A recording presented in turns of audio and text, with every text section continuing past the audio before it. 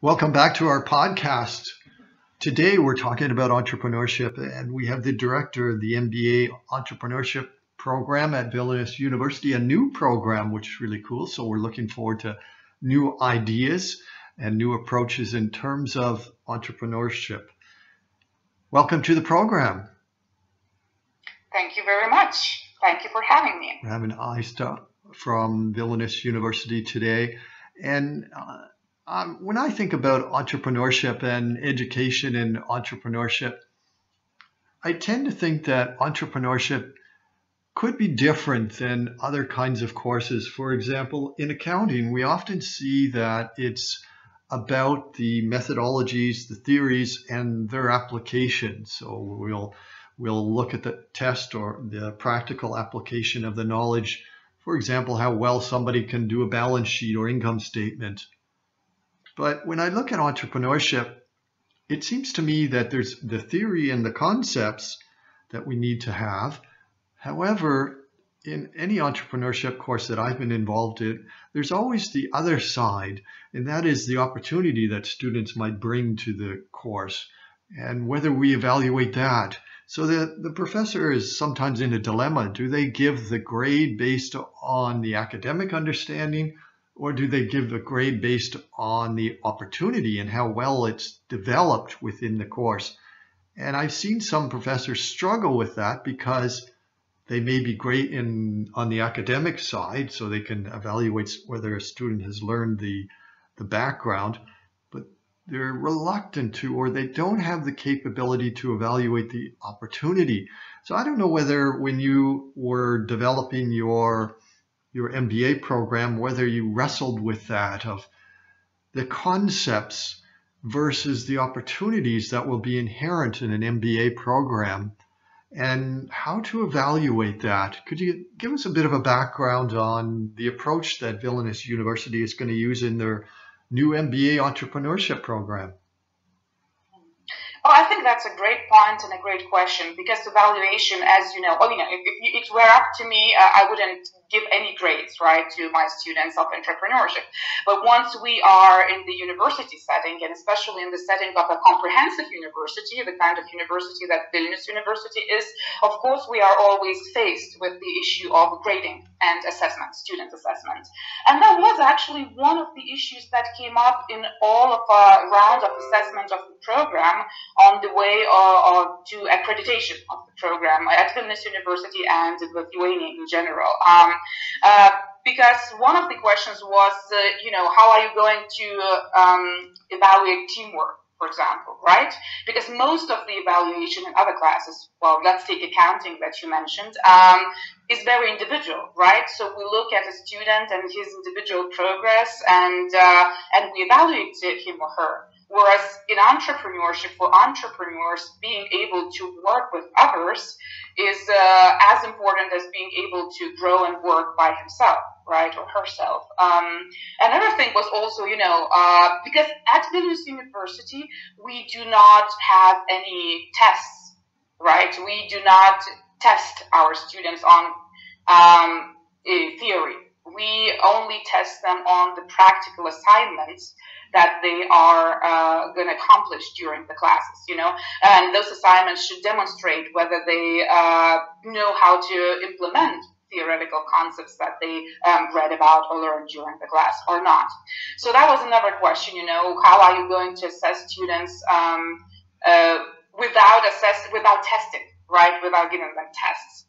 So um, the way the, the system that we developed is, is kind of you know multi-layered. So first of all, of course, I think that in any classroom, and especially in, in the classroom of, of entrepreneurship students, it's very important to um, evaluate progress that is the development of a student, right?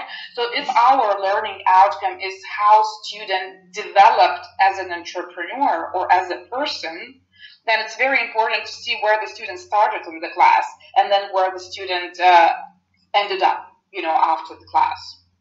and that you know and creativity and uh, and being able to act upon an opportunity and actually to accomplish what you set out to accomplish, even though you learned that you know it wasn't the best way to pursue, but actually do, being able to commit to a task and you know look for different ways of solving it and then you know completing the task i think is a you know is one thing that we are looking at when we're evaluating our students.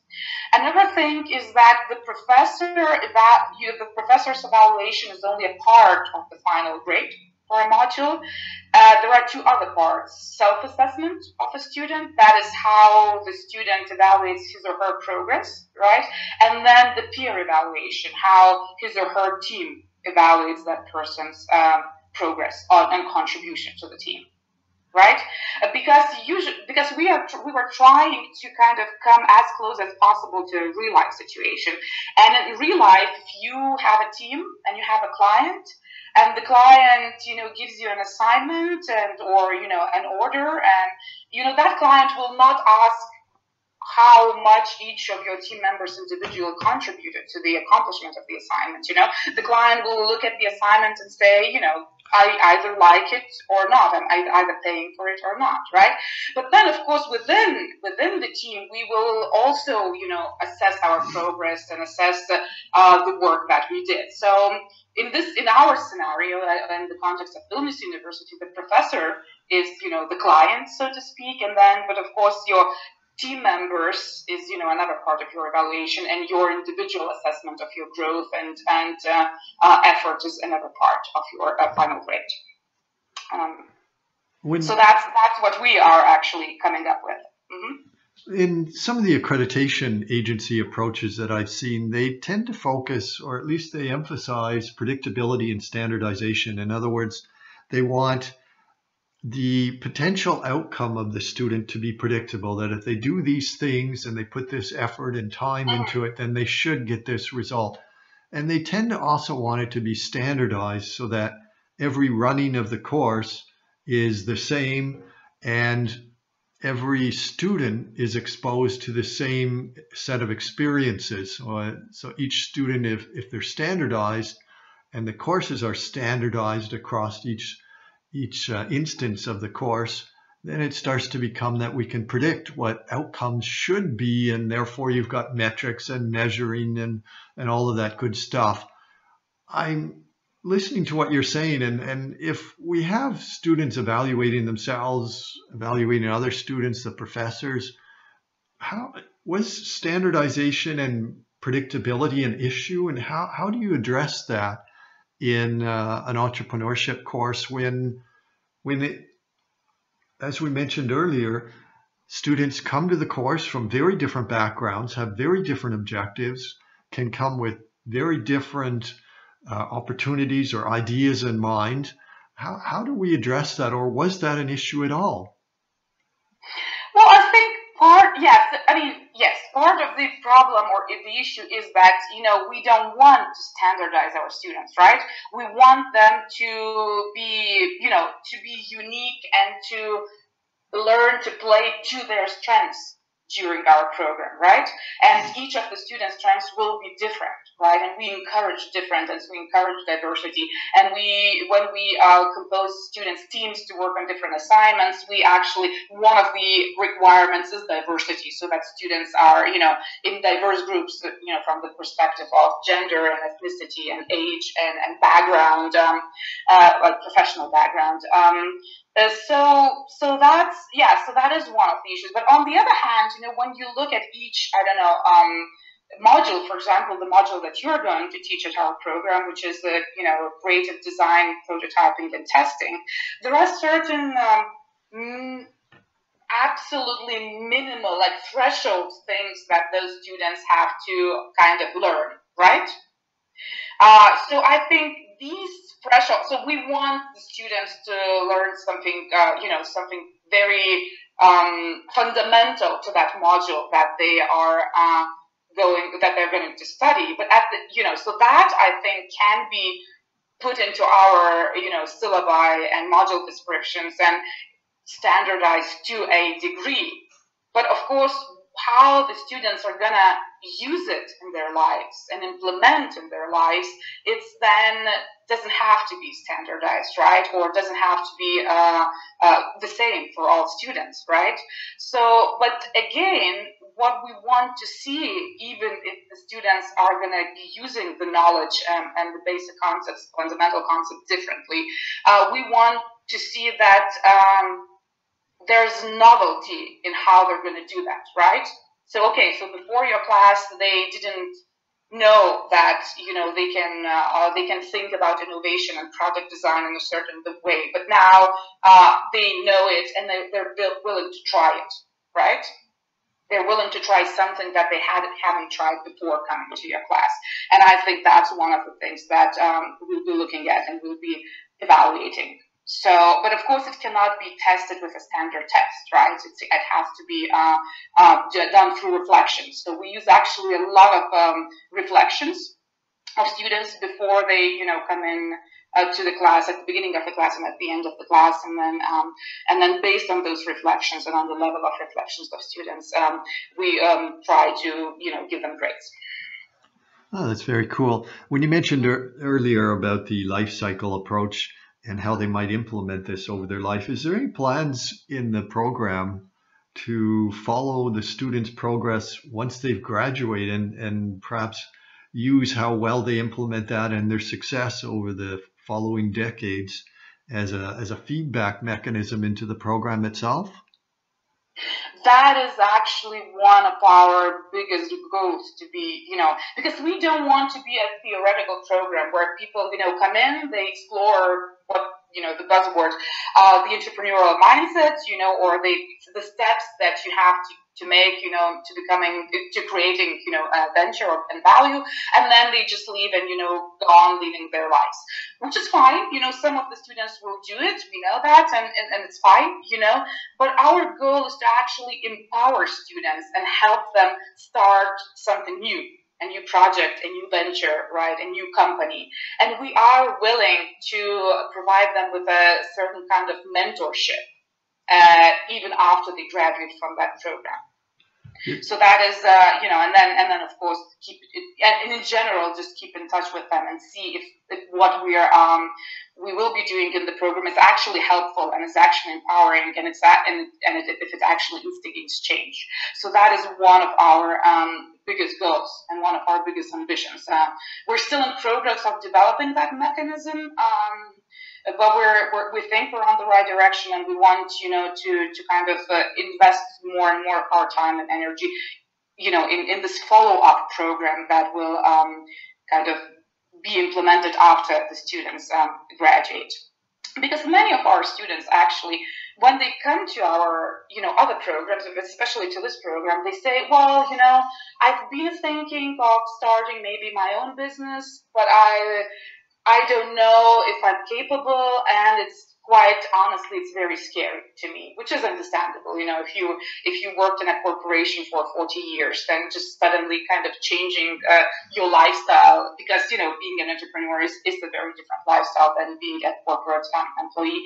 Uh, it is scary, you know. But many students, when, once they graduate our other programs, they actually say, "Oh, you know, I didn't think I was able to do that, but now after this program, I know I'm able to do it. I'm empowered, and I want to do it to start my own business enterprise or you know a project. So we hope that we can accomplish it with this program too. And uh, if that happens, we're very willing to. Um, you know, to, to kind of stay with our students and provide them with a certain kind of mentorship.